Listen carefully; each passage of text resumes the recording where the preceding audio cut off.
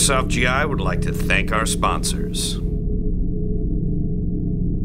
Well, John, it is nice to see you here again. Um, yeah, we go back a long time, all the way back to Lion Claws 1. Yeah, I still remember. I think didn't you like need a parental consent form Uh, way back then? yeah, yeah. I, I was definitely still in high school for that, but I mean, I thought that was really cool to me because like it felt like airsoft came to me because that event was in Bakersfield, California, and that's my hometown, and you know, it's that was actually my local paintball field. Yeah, So I yeah. remember. Yeah, I remember there were like a couple events, or at least like one of the scenarios where we, we had to run up on this castle, and I was trying to tell McKnight, I was like, we don't get there first, we're not getting in there. Right. Like it's gonna be a big ass problem, but yeah, that was a fun game, and I mean, how like I'm, I was always kind of curious, like what that was like for you, just like kind of trying to run that. Oh my God! It's number one. Logistics and finance and everything else was a nightmare because do remember that 12 years ago this was infancy. Um, definitely, airsoft was in its infancy, and there were no so-called airsoft fields, and all the paintball people never heard of airsoft. or they didn't like it. or they didn't like it. I mean, I went to every single field and gave out these Xerox papers and say Operation Lion Claws. And people like, what is that, loincloth? Do you have to be 21 to participate? yeah. and, and I, you know, understandable. I mean, they have no idea what it was. Um, nobody believed I could get Colonel Danny McKnight to do this. Yeah, no, I, I remember I heard that. I was like, "What? Oh my God! I just saw Black Hawk Down." Yeah, that was probably.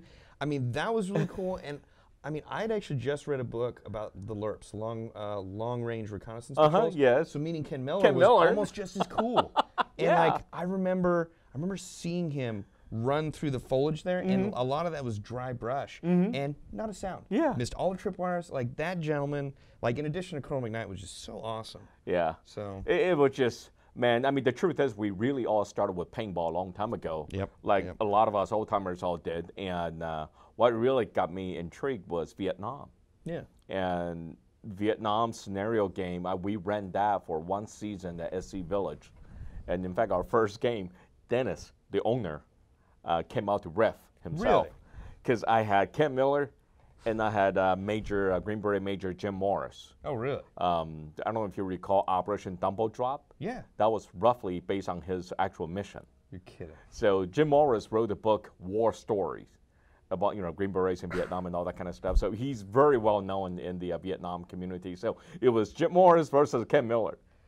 That has to be legit. It, it, it was fun, but you know it was paintball, and you know back then people didn't have the right uniform, or they simply won't show up. Yeah. Um, so we did a couple times. I was like, you know, we'll call it quits. And then when airsoft came along, and I saw all the guns, I was like, God, this is cool. Oh Yeah. yes. Now everything looks real. Yeah, Yeah. no. It's definitely I remember playing paintball. I mean it was like this faux realism of just like I mean the way we call it now is like, oh, there's unicorn poop on the ground because all the paint is everywhere. But Yeah. But yeah, it was definitely like they were trying to get like the half-assed version of Milsim. So, Yeah. Like they used to have like those D-Day games where they go across the river, ramp would come down, Uh-huh. and then everyone just get covered in paint. Yeah. So- Yeah.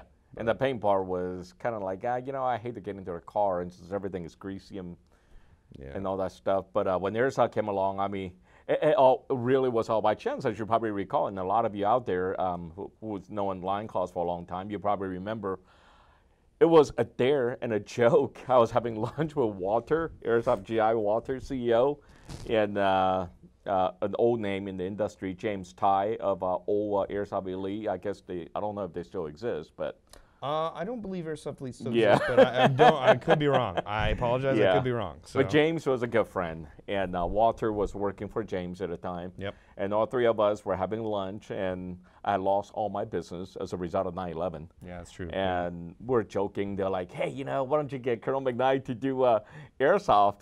I was like, what are you guys retarded? I I'm not can't- going to yeah. ask a military hero to play soldier. What the hell's wrong with you?